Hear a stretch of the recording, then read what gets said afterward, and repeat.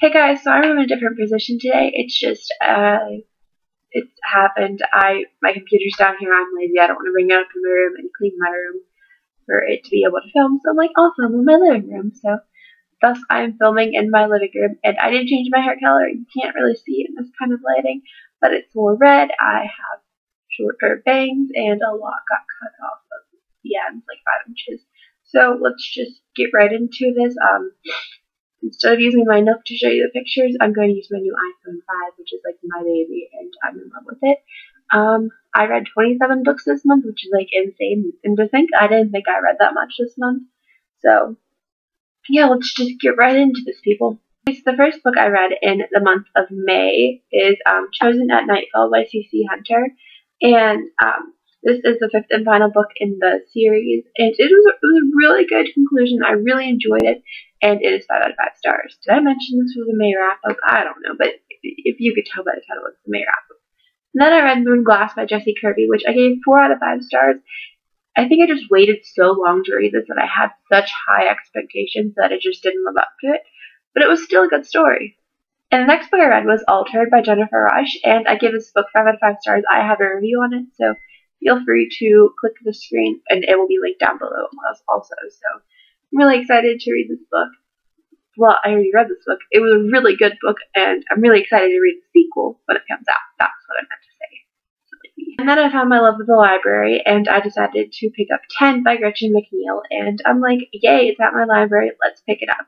I totally figured out the kicker, but I really enjoyed the story and all of the stuff in the story, and it just reminded me that I need to stop watching so many Criminal Minds because I figured out who the killer was. Yeah. Then I read You Against Me by Jennifer well, Jenny Downham, and she's a British author, so I had a little bit of trouble with the language and stuff like that. There are just some things that I wasn't used to being said and things like that. Um, but it was still a good story, and I gave it four out of five stars.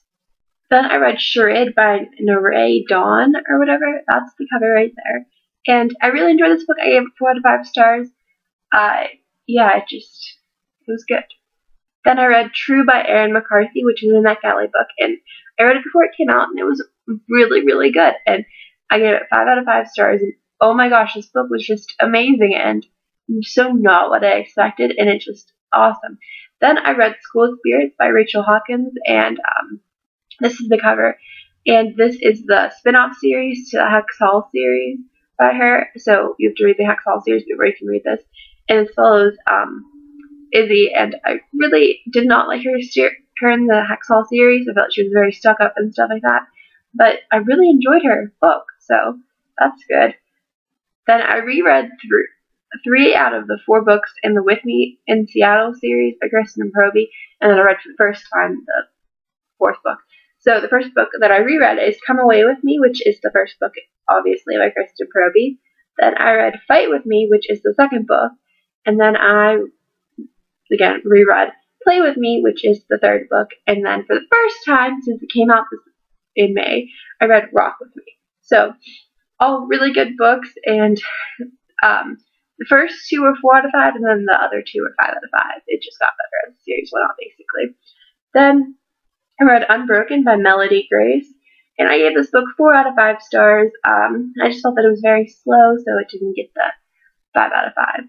Then I read the first book in the Mitchell family series, which is called Letting Go, and it is by Jennifer Foor. And um, she's a, I don't know, I really enjoyed her author, her writing style, so I decided to pick up book two, which is Folding Hearts, and the cover looks like that. And um, basically the premise of the story of the first book is that like um, this guy goes into a coma um, right after his girlfriend of like four years breaks up with him because she found him cheating and stuff like that. And um, while he's in the coma for like eight months, she ends up um, falling in love with his cousin, and then he wakes up, and all this goes to kaput. So that's kind of what happens. Then I read another NetGalley book, which is called Crossing by Stacey Wallace Benefiel and that is what that cover looks like. Um, I gave it three out of five stars. It just wasn't, um, how do I put this? A g- good. I know it's not good to say, but it just, I liked it at the beginning. It was very funny, and then it just lost all the humor, and it just went to crap. And then um, I read Those Nights in Montreal by Beverly Kendall, and I gave this book four out of five stars, and I had an email. Haha. um, but it was four out of five stars. I didn't read the first book first, which was probably a really stupid thing to do. But then I did read the first book, and it made a lot more sense. And the, the that is and it is the first. This is the 1.5 in the um, Language of Love series. And like I said before, I read the first book now, um, which is called When in Paris by Beverly Kendall, and I gave this book four out of five stars also. Then I read like a prequel novella, so it's like the 0.5 of the series by A. L. Jackson, and it is called Lost to You. And I gave this book four out of five stars. And then I continued on the series of um, to the first book, which is called Take This Regret by A. L. Jackson.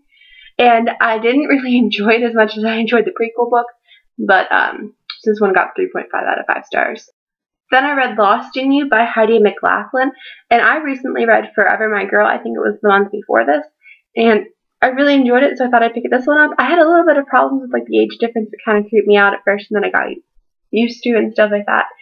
And um, I don't know, it wasn't what I was expecting, but it was still good, so I gave it four out of five stars. Then I rented from my library Flirting with Boys by ha- um, Hailey Abbott, and then I also re- um, rented The Other Boy by Hailey Abbott, and they both got four out of five stars. They're quick summer reads, and they were good. So then from NetGalley, I read Touching Melody, which is a Forever First novel by Rachelle Workman, and it looks like that, and um, I gave it 4 out of 5 stars. Then I reread Fifty Shades Freed by E.L. James, cause just because I was kind of in the mood to reread it. I don't know why, but I gave it 4 out of 5 stars, same as last time. Darn construction workers messing up everything. Then I read The Bet by Rachel Van Dyken, and I gave this book 5 out of 5 stars. It was really good and it was just really good and I don't know what else to say about it. Then I read Oh My Gosh, Just Shoot Me Now, Stealing Harper, which is the second book in the Taking Chances series by Molly McAdams and it's told in Chase's point of view. And if you read Taking Chances, you know why this is so emotional and just makes you want to cry. And it looks like that, and it just it ripped my heart apart, and I just uh, I couldn't and it was four out of five stars. Um, then I read A Moment by Marie Hall, and I gave this book four out of five stars. It wasn't really what I was expecting, but it was still okay. I mean, it was free, so I mean, I'm not having that big of a deal with it. But I did have to, a little bit of a struggle to finish it just because it bounced around too much. And I wasn't really a big fan of the bouncing around and stuff like that. Okay, so that is all the books I read this month. Um, I will talk to you guys later. Hope you enjoyed my May wrap up. I will talk to you guys later, as I said. Bye.